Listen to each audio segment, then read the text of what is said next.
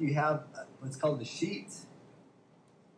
Change your sheet view to normal view in the bottom left hand corner.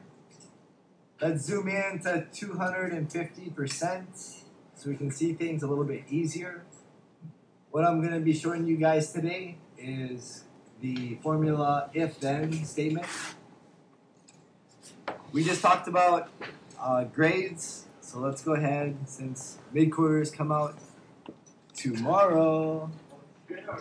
So, to do the if then statement, let's start with grades. So, what grade do we need to pass? 66. All right, so 66% equals pass. Okay?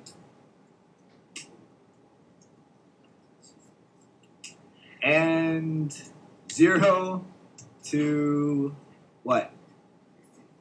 Good. 65% is fail. There we go. Should we say 66 or Oh, sorry. Uh, we'll say that later. Okay. Uh, go ahead. Let's do some formatting to our. Make it look a little bit nicer. Okay. And we'll do that. Okay, let's put in a few people's names for grades. Uh, so we'll start with Christine. Okay, and uh, Hosanna. What grade did Christine get? 55? 55. Wow. And then let's do Joe. Oh, she's a negative. 44. Did I hear that right? Is it possible to get this low of a grade at the school?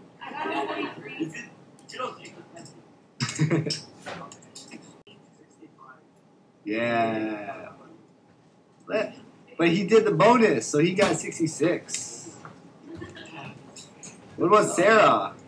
Isabel, what grade did Sarah get?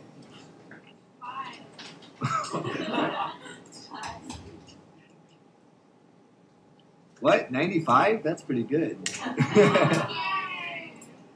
okay. Um, let's go ahead. Insert a new row above A1. Control click and insert. And then let's go ahead.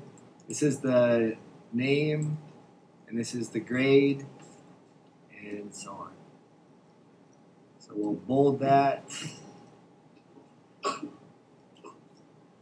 Okay, uh, right now they're not in percentages, they're just in numbers. So, how do you change it to percentage?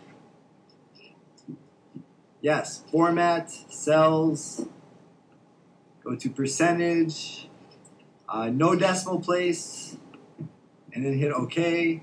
When you hit OK, the numbers are going to be all changed incorrectly. Is that right? No.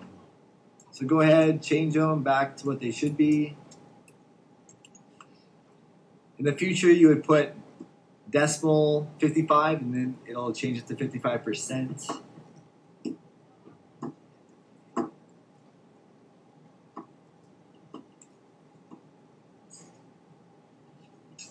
Okay, go ahead, add an F1 call result.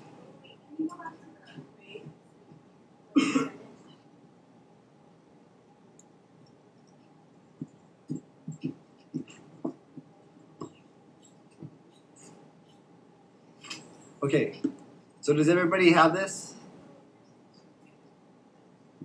Do which part again? Oh, um, Basically, you can just delete it and highlight your cells and go to format cells percentage, okay? And then put in your percentage. Or if you put decimal 55, it'll change it to 55%. Okay, we're good?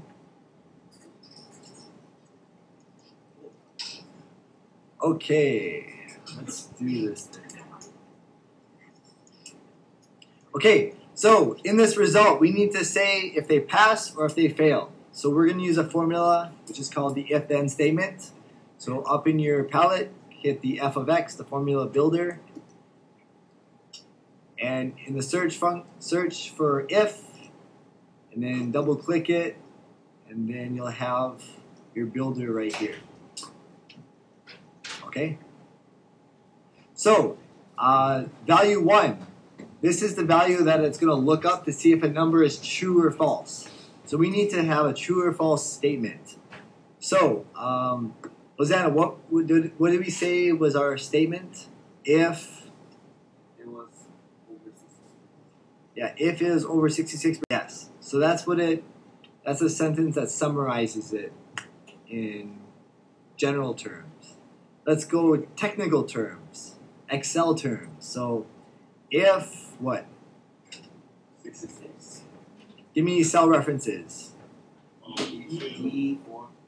No, no, no, 8, 8, 3. Yes. If E2 is what? Greater than or equal to, yes.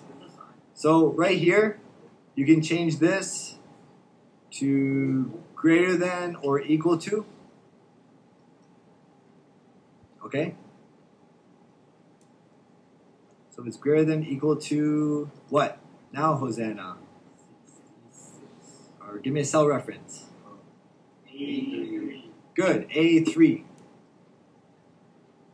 And the reason why we don't type in 66% in the formula is because what if next year they change the standard? Now, to be able to pass, you need a 68. So all we would have to do is change A3 and then it would automatically adjust our grades. Okay, so A3. So if this is greater than that, then what? Yes. But you're not going to type it in, right? You're just going to click on a cell reference. Pass. Else. What? fail. Fail. Okay. Now, which cells need an absolute cell reference? The dollar signs. Uh, A3. Correct. A3. So when we copy the formula down, that will not change. This cell reference will not change. But E2, when we copy down E2, we want it to change because then we need D3, like Joe's grade, and then D4. What about B3 and B4? Do we need to dollar reference that? Well, you do. Yes. Yes, you do. They need a dollar reference. The reason, good question, why? Because when we copy this down, you know how it works when you copy down, right? If it says A3, you copy it down, it's going to say what? Zero. A4. And then you copy it down, raise is going to be A5, and so on. Okay, so notice in our equation, up here it says A3. When we copy the equation down like this, okay, A3, if we copy it down, this is going to be A4. And then we're going to copy it down, it's going to be A5. And then copy down A6. But what's in A6? Nothing. So we need A3 to always be this cell reference A3 because it's always going to reference that percentage. But for E2 in our equation, when we copy it down, we don't always want it to reference Christine's grade. Like for Joe, we want it to be E3. You guys see that? Does that make sense? Good question. Okay, does yours work? Okay. So, now instead of pass, let's just say good job. So notice now it automatically changes to good job and fail, try again next year.